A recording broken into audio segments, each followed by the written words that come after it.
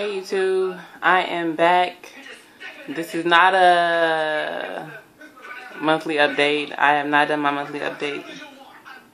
And today is the 13th, so it's way past it. It's like a week past it actually. Um, I just I've, I've had my hair styled. I have not washed and retwisted my hair, so uh, as soon as I take this style down, then I will wash and retwist my hair and make a video. But anyways, this is a video on the style that I have in my hair.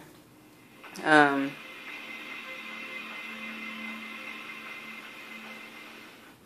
um, I've had it up for about four days now, and I mean, it's holding up pretty well.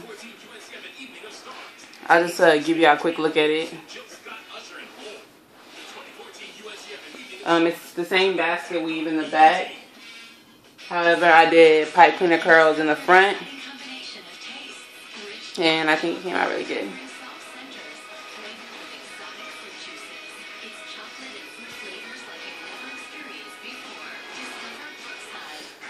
So yeah, like I said, um, I just did the basket weave.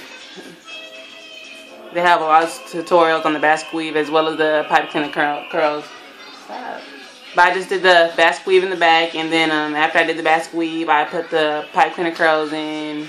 Um, after, of course, vamping the front of my hair a little bit, and yeah, I just went ahead and uh, put them in, let them in, let them in for basically the whole day, and then took them out that night because I was going out. But yeah, this is four days later, and it's holding up pretty well. I wish I would have made a video um, on the first day, of the day of, because the curls were just really perfect and it was hanging down a little further. But um, I've been wrapping my hair up and pushing it back. Kind of scared to like comb it out. I'm, I'm afraid the curls will just fall, but I mean, it still looks really good.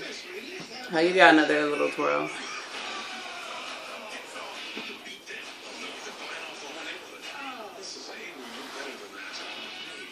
Alright. But uh, yeah, that's basically it. Comment, let me know what you think. And like I said, like I'm always telling y'all, if y'all know any videos with some awesome styles that I can do on my hair, please uh, let me know in the comments below. Bye-bye.